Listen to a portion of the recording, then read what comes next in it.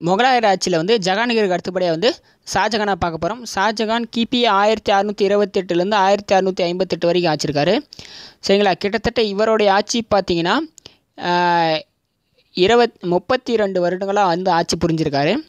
சரிங்களா? ஷாஜகானின் இயற்பெயர் வந்து குர்ராம் அப்படிங்கிறது ஷாஜகானுடைய பேரும் ஸோ அவருடைய அவருக்கு வந்து சகோதரி சர்சியாங்கிற ஒரு சகோதரி இருக்கார்.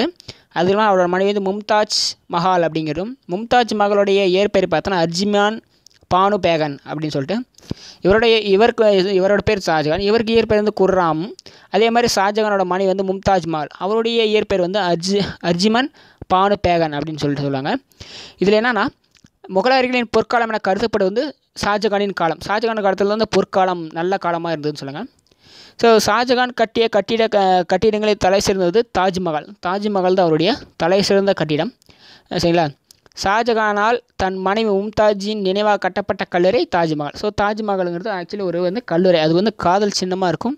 அது இல்லாமல் இந்தியாவின் வந்து அதாவது ஏழு உலக அதிசயங்களில் வந்து தாஜ்மஹால் ஒரு உலக அதிசயங்கள். ஏன்னா அந்த காலத்தில் கட்டிடம் வந்து சிறப்பாக கட்டினால அது உலக அதிசயம் சொல்கிறாங்க தாஜ்மஹாலை கட்டி முடிக்க ஆண்டு ஆன ஆண்டு வந்து இருபத்தாறு வருடங்கள் ஆறு கோடி ரூபாய் வந்து செலவு பண்ணியிருக்காரு. அந்த காலத்தில் ஆறு கோடிங்கிறது அதிகம் தான் சரிங்களா? அடுத்து ஷாஜகானால் கட்டப்பட்ட மசூதிகள் ஆக்ராவின் முத்து மசூதி டெல்லியிலிருந்து ஜிம்மா மசூதி.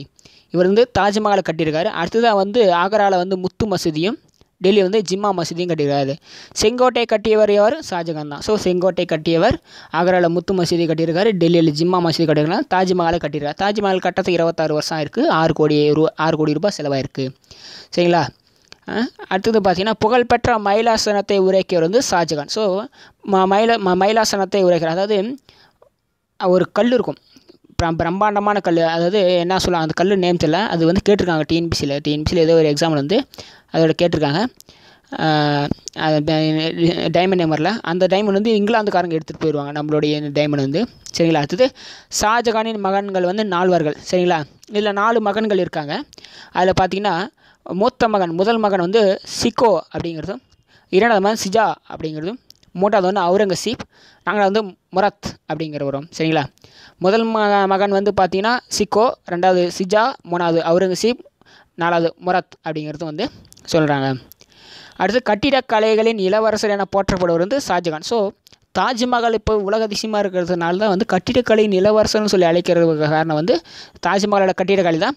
அடுத்தது பாது ஷா நாமாவை எழுதியவர் வந்து இணையத் கான் இணையத் கான் தான் வந்து பாது ஷா நாமாவை வந்து எழுதியிருக்கால வந்து இணையத்கானும் ஷாஜகான் வரலாற்றை அறிய உதவும் நூல் வந்து பாதுஷா நாமா அப்படிங்கிறத வந்து ஷாஜகானுடைய வரலாற்று நூலை அறியக்கூடிய நூல் வந்து பாதுஷா நாமா அது வந்து இணையத் கான் வந்து எழுதியிருக்காரு. சரிங்களா? அப்போ தாஜ்மஹாலை கட்டி முடித்த தலை சிறந்த கவிஞர் வந்து உஸ்தாத் இசா ஸோ தாஜ்மஹாலை கட்டுறதுக்கு தனியாக ஒரு கலைஞர் இருக்கு அவர் தான் வந்து உஸ்தத் இசா அப்படிங்கிற இதை வந்து கட்டியிருக்காங்க. அடுத்து ஷாஜகானின் மூத்த மகன் தாரா எழுதிய நூல் வந்து தாரா மூத்த மகன் வந்து முத் ஷாஜகான் மூத்த மகன் வந்து சிக்கோ தானே. எப்படி தா முன்ன பாருங்கள் தாரா சிக்கோ அவரோட பேர். சாரி நான் அதை விட்டுட்டேன். தாரா சிக்கோ அந்த தாரா சிக்கோ எழுதிய நூல் வந்து மஜிம் உல் பக்ரைன் அப்படிங்கிறது தான் வந்து தாரா சிக்கோ எழுதியது. ஷாஜகானின் புகழ்பெற்ற மயிலாசனத்தை கொள்ளையடித்தவர் வந்து நித்திர்ஷா அந்த மயிலாசனம் தான் வந்து ஏதோ ஒரு கோ கோகினூர் டைமண்ட் சரிங்களா?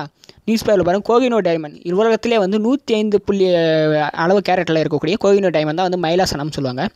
அந்த மயிலா மயிலாசனத்தை வந்து உருவாக்கியவரும் வந்து இவர் தான் அதை கொள்ளையடிச்சவர் நித்திர்ஷா அது வந்து வேறு நாட்டு வேறு நாட்டு ஆப்கானிஸ்தான் நாட்டுக்காரும் முகலாயர்கள் அறியாத பயிர் வந்து தேயிலை பயிர். முகலாயர்கள் அறியாத பயிர் வந்து தேயிலை பயிர். ஸோ இதில் வந்து ஷாஜகான் முடிஞ்சு இந்த வீடியோ பிடிச்சிருந்தா லைக் பண்ணுங்கள் ஷேர் பண்ணுங்கள் சப்ஸ்கிரைப் பண்ணுங்கள் பக்கத்தில் புத்த முடிவுகள்